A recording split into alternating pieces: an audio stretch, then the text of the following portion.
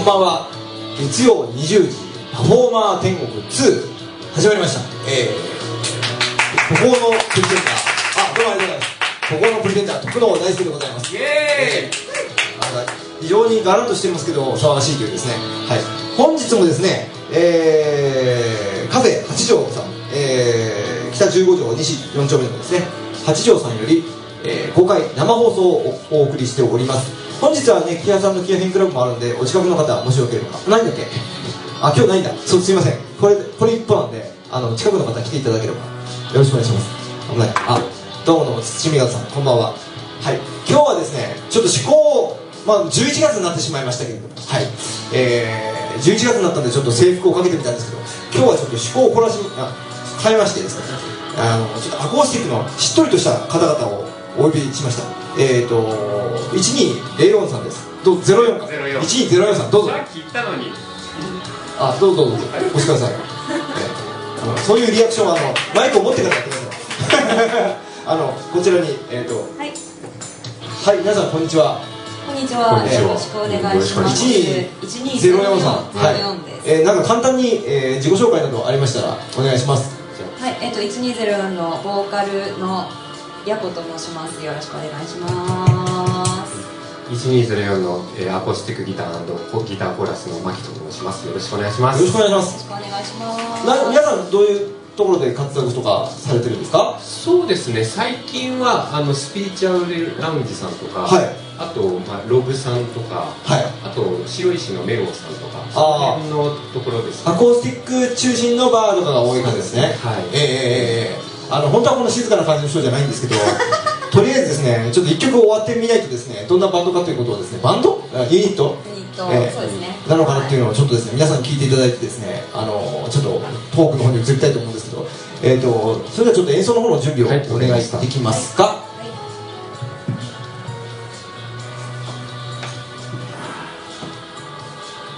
はい。はい、なかなか、大丈夫ですか？あ、大丈夫ですか？私特に準備ないのあ、で。準備ないですか？はい、まあなんかこのまま歌うだけですので。はい。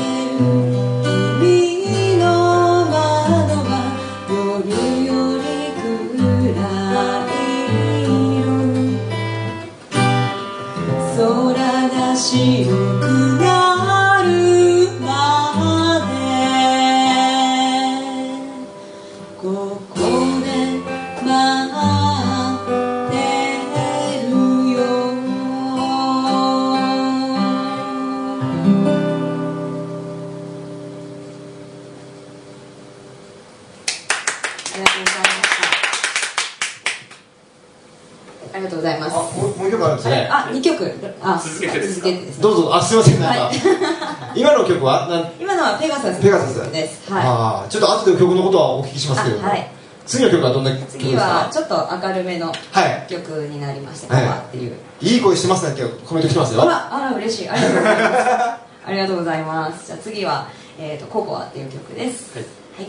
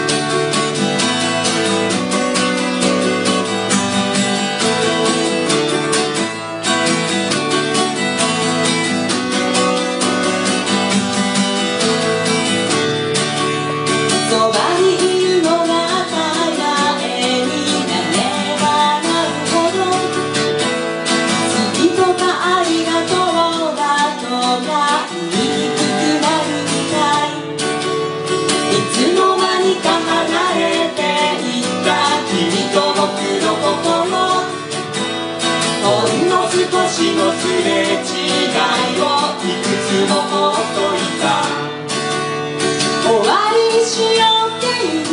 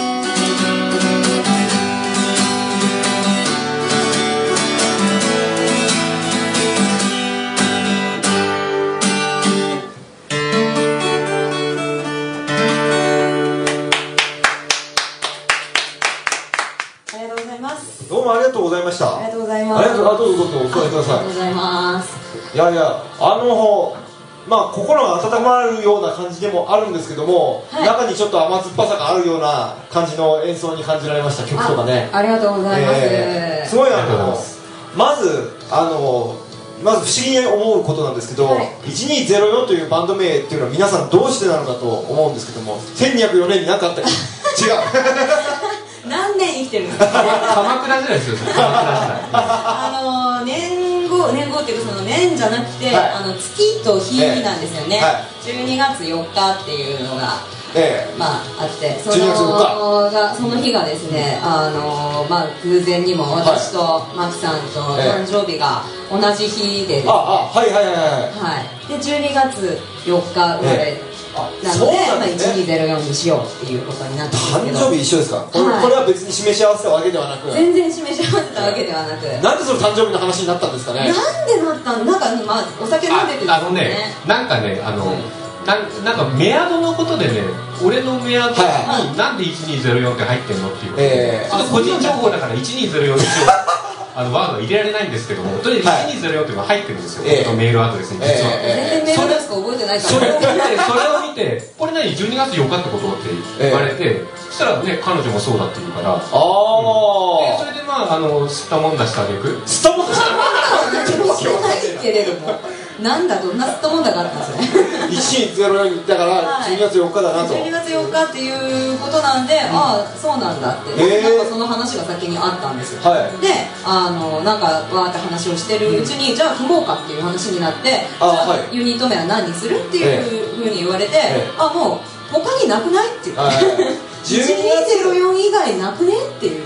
つまりその12月4日ということが元であの結成されたということも言えるということですね。ああいや全然関係なかったんですよ、それは関係なかった。はあのあの彼女がねなんか某あのあの音源を作る方にい、はい。なんか昔ちょっとその音音楽を作る人にちょっと歌ってみないかって言われて歌を取ってもらったことがあっ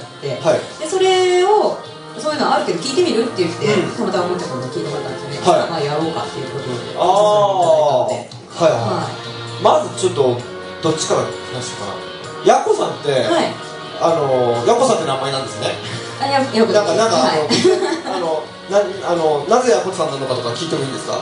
あいやうーんちょっとちょっと面倒くさい。めんどくさいですね。あそれはやめましょう、はい、めんどくさいっていうかまあちょっと大したことじゃない。大したことじゃないです。まあ、本名に入ってる、あのー、むにゃねにゃむにゃむにゃにゃにゃにゃっていうところの一番最後のヤコを取っただけあ名前から名前から来たわけそうですねあであの昔から活動されてたとかそういうのはいや全然ないです音源取ったのはたまたま音源取ったのそうですね。なんかたまたまはい。職場にそういうのに詳しくて詳しくてっていうかあやーってた方がいらっしゃってでちょっとやってみない？ってなんかカラオケとか行く間にあちょっとあの子歌えるよみたいなことを友達からこう言われて、ええ。その友達が私のことをその人に言ってくれて、はい。あの子カラオケそこそこうまいよみたいなこと言ってくれてでじゃあちょっと僕の作った曲歌ってみてくれない？って言われて。あなるほどですね、はい。でもそういうことはちょっと後からマキさんのことは説明しますけど あのーあれなんですね、あのーまあいろいろライブとかそういうなんかまあアマチュアな方にしてもプロにしても、はい。行くのが好きだとか音楽に興味があったってことは多かった。です全ね然でも全然。ないです。私全ね。然ないです。ライブ行ったりとか全然なかったですパフォーマー天国結構割とあのどちらかというとなんかね地下アイドルの方とかあのが多かったんですけど、はい。大体あの自分が出たくて出る人が多いんですけどたまたまたまたまやりましたっていうその消極的理由っていうのはすごい初めてな感じがしましてですね、えーあの面白いと思いますでマキ君なんですけど、はい。マキ君は僕は古くから友達でしてはい。あのーすごい長く活動されてますよね実は。そうですね。あのやっぱりこのインディーズの本当に奥深いところ奥深いところね。ディープなところにね、ええ。たまに出没するってことでね、えーあのええ。個性的なですねステージをやられてましてね。そうですね。随分やってましたねなんかね。なん何年やってるんですか？うんとねでもねあの、はい。大学時代にバンドを始めて、はい。その時18歳ぐらいでしたから18もう20年はやってるってことですよね音楽キャリアとしてはね。そのまああのまあクラシックギターに習ってたんで、ええ。そういった意味でその要するにその先生の、生徒さんだけの内輪だけの演奏会っていうのは、まあ大体中学1年ぐらいからやってたんですけれども、うんまあそのちゃんとこうやってライブハウスで自分たちで企画するなりどっかの対バン、あのブッキングに呼ばれるなりして、はい。まあそれなりのあの、まあ、300円でも500円でも安くねして、あの入場料をいただいてライブするようになったのが大学入ってからなので。じゃあ曲もその頃から書き始めたそうですね。大学時代僕はあのビートルズとクイーンが好きだったおお私と同じですね。そうなんですよね。そうですよね。フレディ・マーキュリーとポール・マッカートニー。ああ好きですね。あよくあの結構音楽談義をすると結構あのマックの話はあるんですね。はい。え残念ながら私全然音楽の話がわからないんでマックさんと全然話は通じない。何の話してるんですか？あでもダメ出し結構してますよね。ダメ出しはすごいします。ね私の方が音楽素人なのに私の方がダメ出ししてまあいや厳しい厳しいっていうかちゃんとしてるんですよヤコさん。あのでマキ君はちょっとやっぱりねあのなんていうんですかね。やっぱりあの指示されてやった方がいいタイプなのかもしれないですね。まあそうかもしれないですね。やっぱりあのね、うんソロでやってるとね、うん。あのどうせ歌うの俺だからまあ俺の好きだってやっていいねっつってねあの、はい、なっちゃうことあるんですよ。それ,、それはよくよくないことなんですけど、ね、ソロであっても自分の歌を最大限伸ばすためにちゃんとしたことをやる、はい、ただこうやって人に歌ってもらうとかそういうことになってくると、はい、もう一切のあらゆる言い訳が通用しないということになりますので、なのでまあまあ、いい、ね、その訓練の場を与えてもらったかなって感じで、まあ、ちょっとここでね、あの鉄を熱い打て熱い熱いうちに打てじゃないですけど、はい、打ててないですね。噛ん噛んでますけどね、はい。はい、こうやってこれね放送中に噛むっていうこともやっぱりあええ。反省材料としてやっぱりもうねあの取り永遠喋りますでしょええ。喋りますちょっとあの多分ね要約した方がいいと思うね話をまあそうですね、でマキ君なんですけどあのすごいステージっていうのがすごい個性的であの僕が初めて会った時にあの一人 YMO とかやってたんですよねそうですね、え。え徳野さんと初めてライブハウスでお会いしてえ。え対バンさせていただいた時に YMO の確かテクノポリスとはい。ライディーンです、ライディーンありましたね。あれをトゥートゥートゥートゥートゥーギターの弾き語りやつですトゥーとかなんかトキオとか言ってそうテクノテクノあテクノテクノええテクノテクノまあそれいいんですよなで妙にテンションが高かったんですよこの人、うん、でやっぱりやっぱりマニアックな人にしか受けない感じなんなんですね、えー、と僕と同じで、えでもね、うんあのちょっと風邪気味です。ちょっと咳咳込んではいす。すいませんので。でもね結構あのね一時期ね本当ね、はい。あの女性女性層にも支持されてた時期があってえで結構そのねあのなんかあのー、モテるって言いたいの？そのその時がモテる人はわからないけど一時期あったんですよそういう人あー、ねえあの女性も含めて、はい。ちょっと注目されるようになった時がー、どうですか？女性から見て。実際もしモテてたとしたら、はいなんだっけ女子会乱入武器とかおっぱいがあればとか、あそういう曲あるのね。が出てこない。いやあのね違う違う。それそそういう曲ができる曲もあるんですよ前その曲ができる前さ、はい。その曲ができる例えばねら、うんあれですよね女子会乱入武器とか。女子会乱入武器とかあと後乗せサクサク忍法帳とかなんかわけわかんない曲をたくさんね最近作っていたんですよ。いやいや、まあのこの番組のあのサブサブのアシスタントでですね、うん。あのドンチャレ R って人がいるんですけど、はいはいはいああのあの人はなんかあの忍者の歌歌ってますけどね。そうねあの闇討ち大作戦とか。そうそうそうそう、ん。あよく知ってますね。あとなんだっけなんとか下克上じゃなくてなんさあ群雄割拠みたいな。すごいな群雄割女の女の子がピアノ弾きながら歌うのにで なんとかなんとか群雄割拠ってえ？っと思って。でライブ中にね振りかけ投げるんですよ。いや、多分この視聴者みんな知ってると思うんですけど、えーなんかすごいです。すごい。で、このお二人は、はい。か結成して何何年？やっと1年経ったぐらい。でですすね。はい。で、そのな12月4日にはい。リリースをするってことなんあですけど、そうですね。12月4日に初めてあの音源を。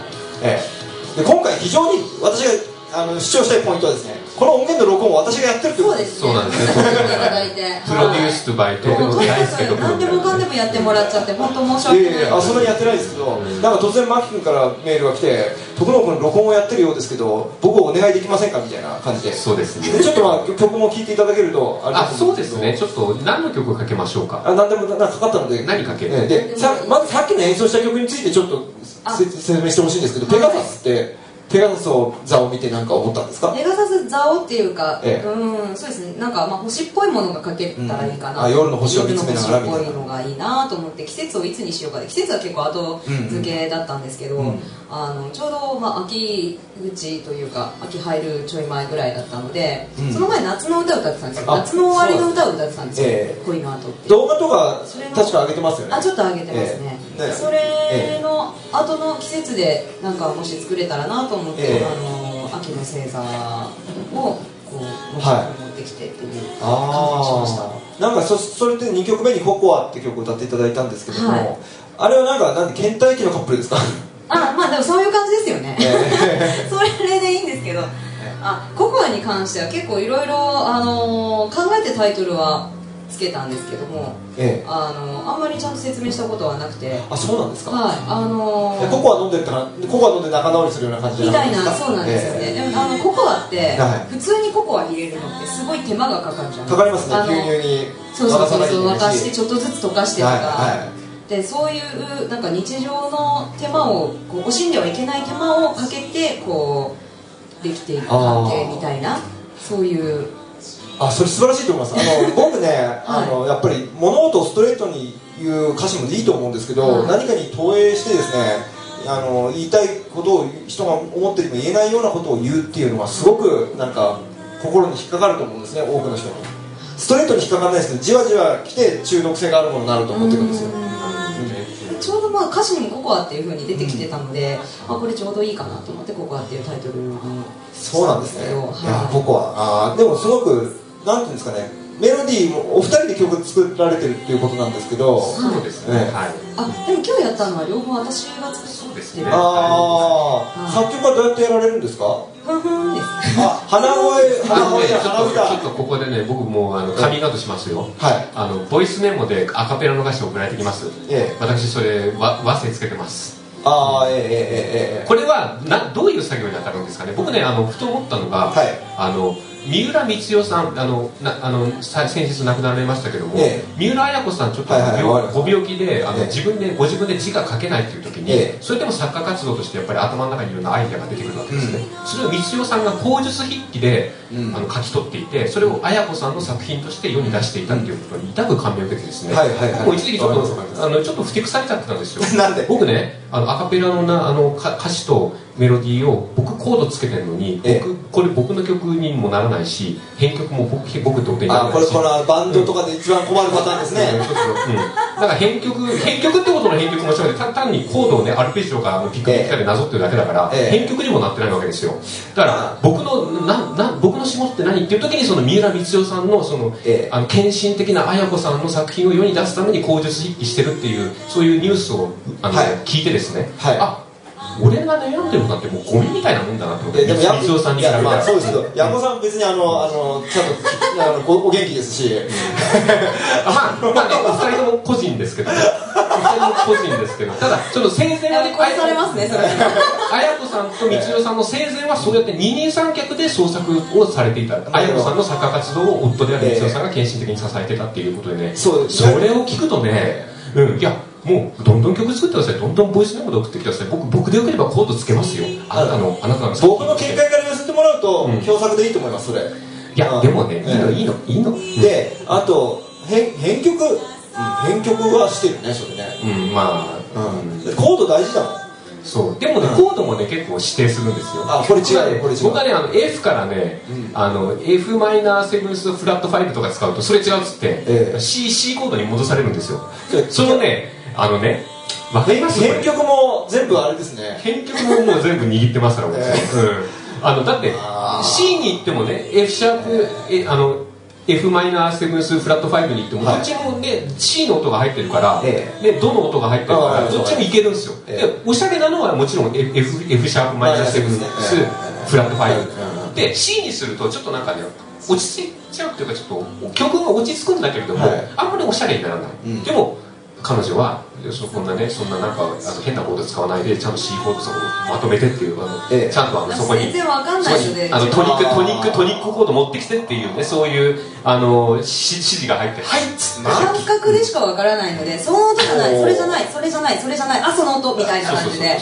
とにかく弾いてもらってそれかそうじゃないかを当てるみたいな。結構これあの珍しくすごいあのこの番組こういうあの音楽談義になることめったにないんですけどどう いう話してるんですか？そ普段は多分どうしてこういうことやってんのとかあとやっぱり、ね。やっぱりこのあの出演者の可愛らしさとかにキャプチャーされるものなんですけども、うん。今日はちょっとこれあの学天の話題なんで私言わせてもらいますけど、あのあの今度はまあどっちでもいいっちゃどっちでもいいと思うんですよね。であの意外と平和的解決の C とかで終わるっていう方はそう。すっきりしてたりするのね。うんトニックだからね。で、うん。マーク君がトニックコード使いたがるのはちょっと分かるわけテンションかテンションとか使うの。あのあの渋谷系とか通ってるしね、あのこの年代独特のねおしゃれ感を出そうとしてるんですね。そうそうそうそうそう。えー。うん。あの調子こいてたんですよ昔ね。あのその時代の人ってね、うん。いやもう全然わかんない全然わかんないです今か交わされてる話が全然わかんない。ああ、でもねまたね僕のあの夜やってる放送なんですけどなんか難しくて頭痛くなるから簡単なこと喋るとか言われるって あれなんですけどもね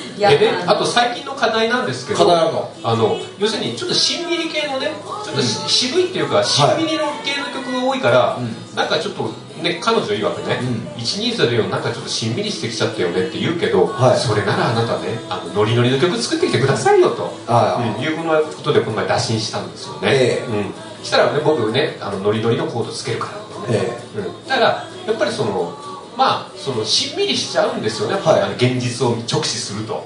なんだけどはいはいはい。はいそうそういうのがファンタジーの世界に逃げるんですよ、そしたらノリノリっすから、うん、ピーターパンとかウェンディ何の話してんの？あだから、うん。要するにあの話長いんですけど簡単に言うとあのあれですよ。あの明るい曲作りたいんだけどそうそうそうあの僕やりたいんだけどなんか作ってくれないからこあのやりたいんだけどっていうのを直接に言えなくて長く長く説明してるわけです、そうですね。ええ。あのちょっとき優しい人なんですよきっと気を使おうとして、うん。でなかなか自己主張しなくて多分あのストレスが溜まるタイプなんじゃないかなね、僕もこういうのはね難しくてバンドとかやらなかったですね、えーもう最近は人が勝手に自分の曲をやるバンドとかやってますけど。もう放棄してますからね僕ね。まあ、それはいいんですけど。あのお二人の目標とかありますよね絶対ね。このバンドでやね。このユニットでやってやるぜみたいな。あの例えばね、ええ。あのいわゆるメジャーデビューえっていうのを、まあ、もし、まあ、できれば、まあまあ、できるに越したことないけどただねこうやってお互い仕事をしながら、音楽を続けてって、何かこうねああの時期1204もいたよね。なんかそのねあの、ええ。こういうなんなんつうのこの記録より記憶に残りたい。記録より記憶に残りたい。それもいい言葉ですね、ええうんで何を笑ってるんですか？いやいやなんかあのそうメジャーデビューっていう。単語が出てくると笑うおかしくなっちゃ面白くなっちゃって。そんな大きなこと考えてるんだっていう。と確かに始めた時に、はいはい。僕は AKB みたいなのはどうかと思うんだよねって熱烈に語っていて ちょっとめ打倒 AKB 目指そうみたいなことを確かに言われたのでそれを思い出して面白くなっちゃって。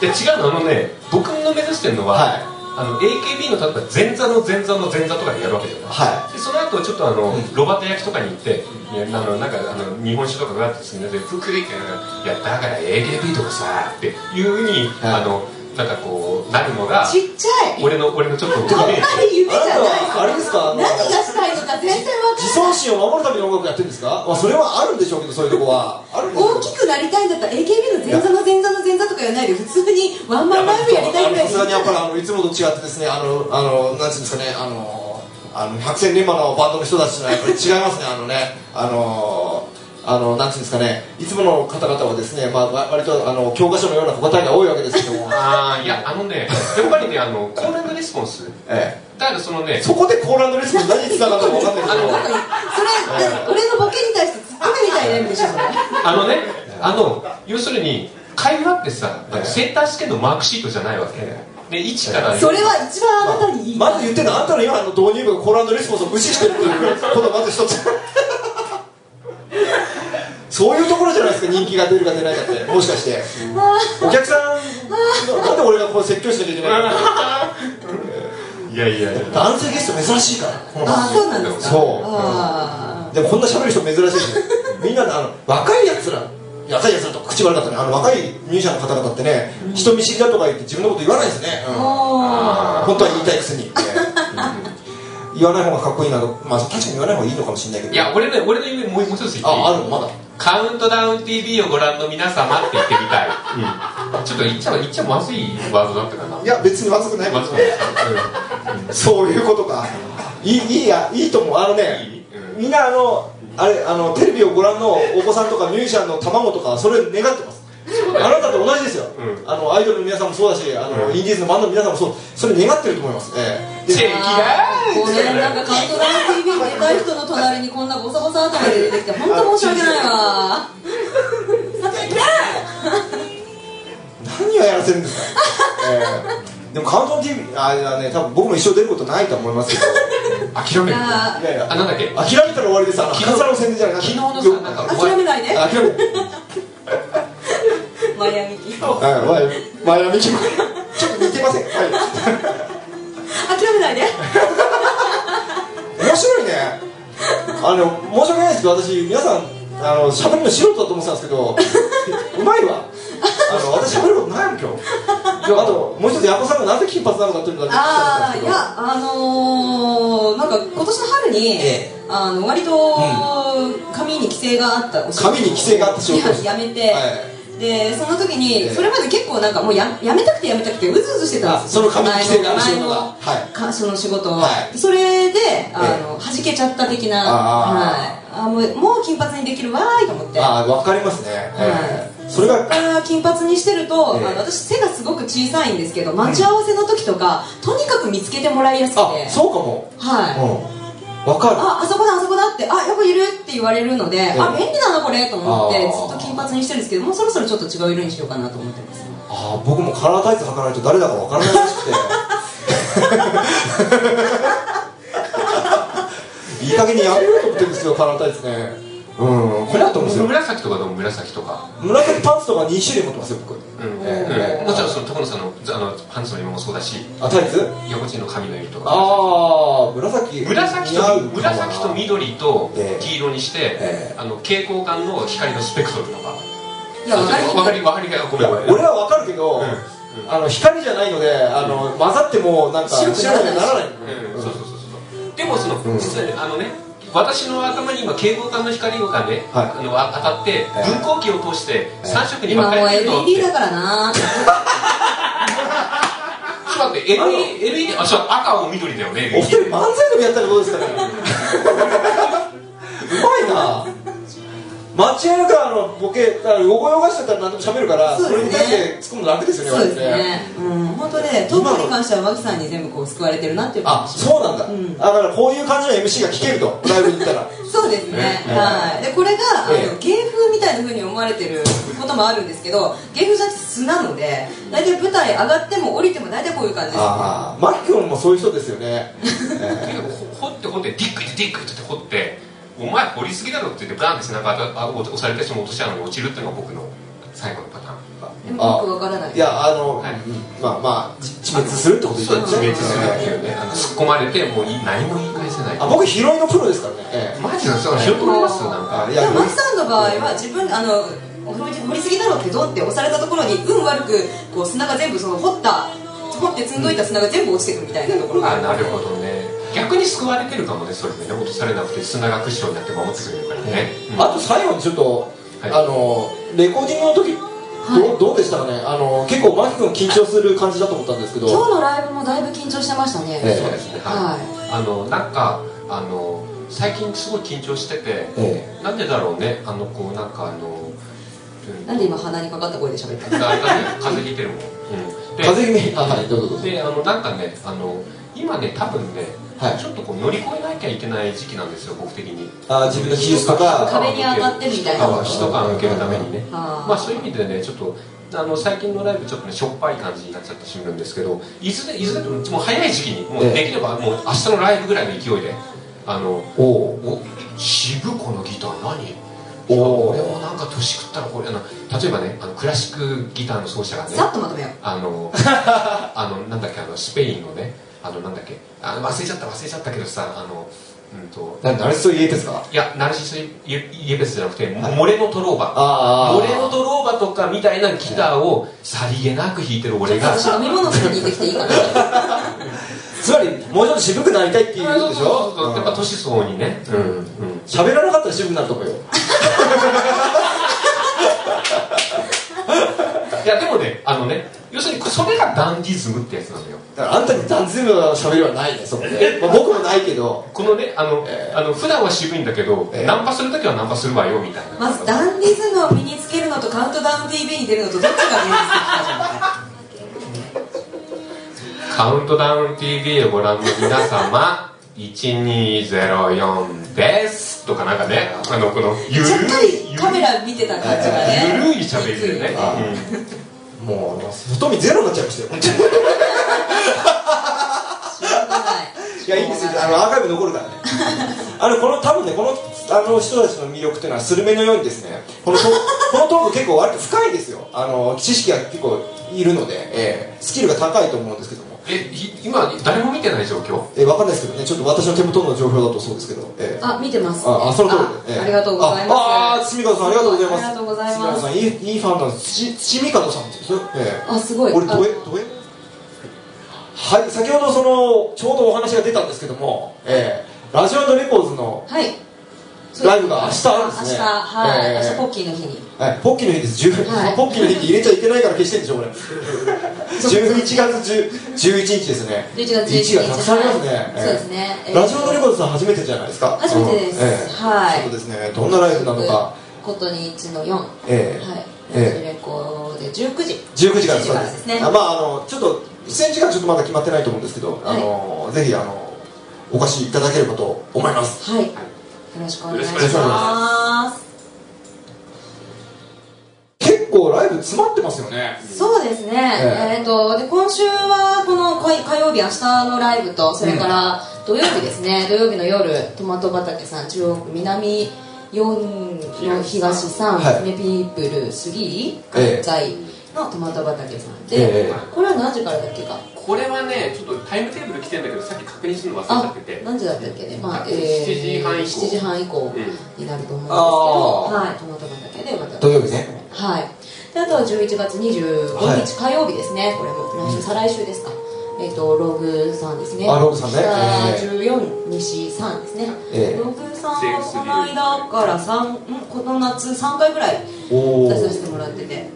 なんか道長夫人のねはい「アリア」って曲がなんか、ええ。あのロログのマスターの長津さんが気に入ってるから、ええ。それもやろうかなと思って、ええええええ。道長夫人好きな方はねあの来れば必ずやると思いますので、はい。ぜひねあのよろしくお願いしたいと。道長夫人好きな方はってそして全然今日歌ってないのに道長夫人のあるよ。まあいいや。そしてそしてそしてですね。これは大事でしょえーはいこれ大事ですね。ええ。12月4日来月4日になります、これがあの120の2人誕生日の日なんですけれども、はい。あの20北23条西4丁目の、えー、と安井料理店うんっていうところでですねレコ発ライブをえさせていただきたいなと思ってます。ぜひ皆さん来ていただきたいですけど、はい。ちょっと私のなんだかんだ言ってあのプロデュース作品意外とまだなくて、あそうなんですか、うん。ええすごく嬉しいです。あの、はいあい、ろいろ作業の途中でなんかなかったりあったりっていうことが多くてそんな中であの、ほね、皆さんの方から声かけていただいたのはすごく私感謝してます、ええ。でもお忙しいところ本当時間割いてあいやいやまだ終わってませんからね。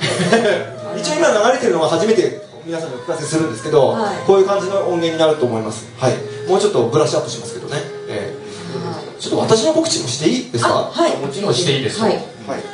えっ、とまずえーとしますか？あどうもありがとうございます、はい。えーえーとあもゲストに持っていただくの初めてですね俺ね。あそんなことないか。ちょっとね角度をこんな感じで。はい。まずね今週の日曜日なんですよ。あのー、エゾーン秋元語りという、えーですねイベント出させていただくんですけども釧路芸術館。釧路です。釧路初めて行きますえーちょっと15分ぐらいのライブですけどもあのバッチリと同等にあの私に印象を残して帰りたいと思ってます。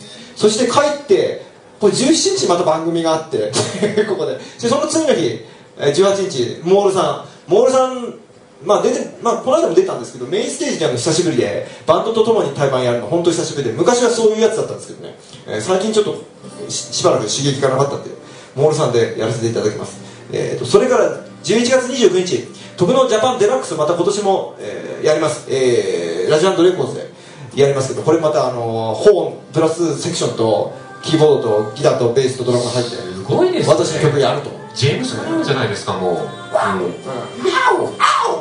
みたいな感じでして、はい、それから12月25日はい。いはい。実はいつも偶数月の第2土曜日に行われている琴人大和屋さんの畳の上の弾き語りき語りライブ。